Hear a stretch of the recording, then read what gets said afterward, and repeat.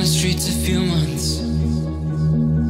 I'm trying to pick myself up.